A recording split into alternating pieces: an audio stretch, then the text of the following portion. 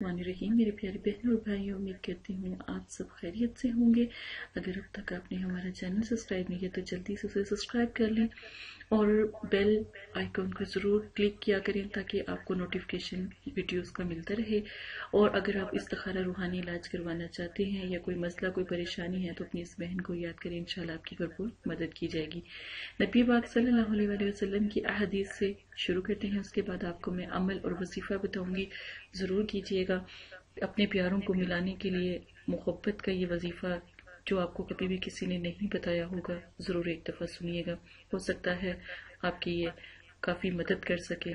चलिए हदीस की तरफ़ चलते हैं। रसूल करीम सल्लल्लाहु अलैहि वसल्लम ने फरमाया ए आयशा रज़ी अल्लाह तु क्या तुमने कभी मुझे बुरी या गंदी ज़ुबान में बात करते सुना?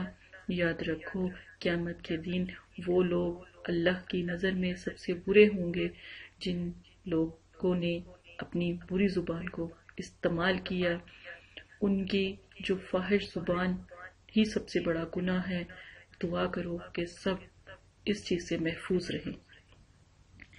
अच्छे अल्फाज दिलों को ज़िंदा करते हैं, बुरे अल्फाज हमेशा दिलों को फाड़ के रख देते हैं, तोड़ देते हैं। आपने कभी देखा होगा कि अगर आप कोई चोट लगती है या कोई आपको कट लगता है, वो भी अल्लाह पाक जो है भर देते हैं।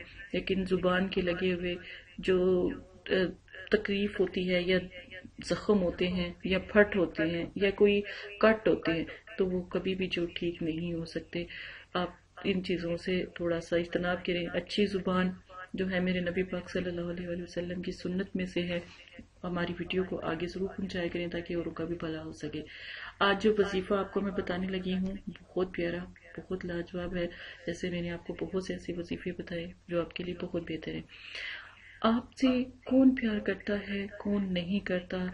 ये इसके बारे में मैं आपको थोड़ा सा वाजे आप कुछ चीज़ें आपको बताने लगी हूँ। आप एक दफ़ा ज़रूर सुन लें उसके बाद आपको वजीफ़ा भी मैं बता देती हूँ।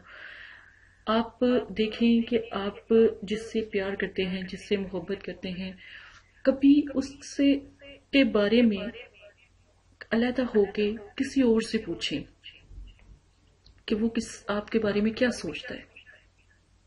नंबर एक, अपने दोस्त की पहचान, अगर दोस्त गरीब हो ना तो वो दिल का बहुत अमीर होता है। जो अमीर हो ना, वो दिल का बहुत छोटा और गरीब होता है। ये दोस्तों में, मोहब्बतों में, अपने प्यारों में पहचान होती है। मुश्किल के वक्त काम आने वाला। वो ही आपका प्यारा सबसे आपके नज़दीक होता है। एक जो आपकी चुगली, बुराई, बखेली और इस तरह का कभी आपने उसके मुँह से सुना ना हो, कभी आपने उसके मुँह से या किसी और के मुँह से आपके बारे में उसने कुछ गलत कहा हो तो आपको पहचान हो जाती है कि वो आपके लिए अच्छा है या बुरा अच्छे दोस्त को पहचानने के लिए, अच्छे बहन भाई को पहचानने के लिए एक लम्हा काफ़ी है। ना पहचान के लिए पूरी ज़िंदगी भी गुजर जाए तो कभी पहचान नहीं होती। अच्छा दोस्त हमेशा आपको मुश्किल में आपका साथ देता है। बुरा दोस्त हमेशा जो है आपकी मुश्किल में मज़ाक करता है, या आपको गलत मशरे देता है, या फिर आपको उस चीज़ से हटा देता है। तो ये पहचान होती है। आप जिससे भी प्यार, मोहब्बत रखते हैं, अगर उसकी तड़प आपको महसूस नहीं होती या सामने वाला उसकी तड़प को महसूस नहीं कर सकता तो फिर उस प्यार का क्या फ़ायदा उस मोहब्बत, उस चाहत का क्या फ़ायदा? बड़ों की बात बहुत नायाब है कि किसी ने कहा कि तुम मुझसे कितना प्यार करते हो? किसी ने पूछा कि तुम मुझसे कितना प्यार करते हो? आया तुम्हारे दिल में मेरी क्या इज़्ज़त है? क्या मुकाम है? तुम मुझसे कितनी मोहब्बत रखते हो? सामने वाले ने कहा कि अपने दिल से पूछ। जितनी तुम मुझसे मोहब्बत करते हो, जितनी तुम मुझसे प्यार करते हो, उतनी ही मैं तुमसे करता हूँ। तो अगर किसी की पहचान करनी हो ना, कि वो आपसे कितनी मोहब्बत करता आप अपने दिल की तरफ़ देखिए कि आप कितनी करते हैं। वाजे आपको नज़र आ जाएगा कि वो आपसे कितनी करता है। अतले का बदले है ना, अल्लाह पाक ने फरमाया ना। ठीक है? तो आप खुद को पता लग जाएगा कि कोई कि आपसे कितनी मोहब्बत कर, आज का बहुत प्यारा वजीफा मैं आपको बताने लगी हूँ। छोटा सा अमल है। अगर आप ये कर लेते हैं, यकीन माने कि आपको कभी भी किसी और अमल करने की ज़रूरत पेश नहीं आएगी। ये जुमेरात वाले दिन पीर वाले दिन, जुमे वाले दिन आप ये अमल कर सकते हैं। कुरान पाक में सूर्य यासीन यासीन के आखिर से लेके, जो है शुरू से लेके आखिर तक कई दफ़ा मुबीन आती है। ठीक है? आपने एक ही दफ़ा सूर्य यासीन पढ़नी है। पढ़ने का तरीका मैं आपको बताती हूँ, तीन मुबीने आपने इस्तेमाल करनी है। सूर्य यासीन में जब पहली मुबीन आती है, उसके बाद आपने फिर सूर्य यासीन शुरू कर देनी है। फिर दूसरी मुबीन आनी है, फिर आपने सूर्य यासीन शुरू कर देनी है। तीसरी मुबीन जब आएगी, पूरी यासीन सूरत नहीं पढ़नी। तीसरी मुबीन पर भी शुरू से सूर्य यासीन पढ़ें, मुबीन तक आके पूरी सूर्य मुबारक पढ़ लें। दोबारा दफ़ा सुन लें कि जब आप सूर्य यासिन पढ़ते हैं ठीक है? यासीन के बाद जब आप पढ़ते चले जाते हैं तो उसमें फ़र्स्ट मुबीन पहली मुबीन पे आप रुक जाएँ। फिर ऊपर से शुरू करते हैं दूसरी भी ऐसे करें दूसरी मुबीन जब आप ऊपर से शुरू करेंगे तो पहली मुबीन भी निकल जाएगी फिर दूसरी मुबीन आ जाएगी।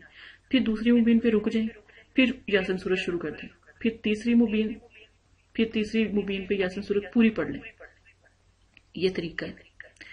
आखिर में जो लफ्ज आएगा पूरी जब यासिन सूरत पढ़े होंगे लास्ट में एक लफ्ज आता है, कुन फाया कुन।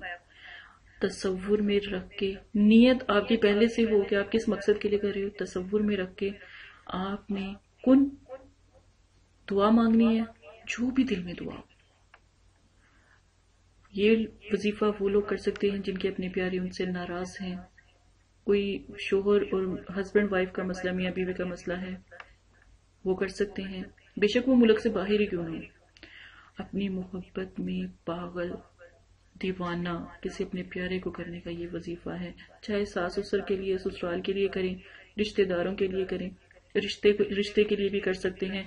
अगर आप लोगों के रिश्ते नहीं हो रहे तो ये दुआ करें, मुबीन पढ़ के तो इनशाला आप यकीन माने कि हफ़्ता भी नहीं गुजरेगा तो रिश्ता आपका हो जाएगा। इनशाला तो कल कामिल करके पढ़े। और पढ़ने का जो वक्त है, मगरिब, एक दिन का वजीफा है। ज़रूर कीजिएगा।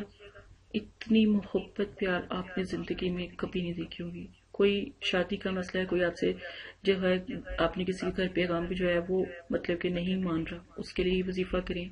आपकी दुआ फ़ौरन कबूल होगी। एक दफ़ा दिल से वजीफा करें।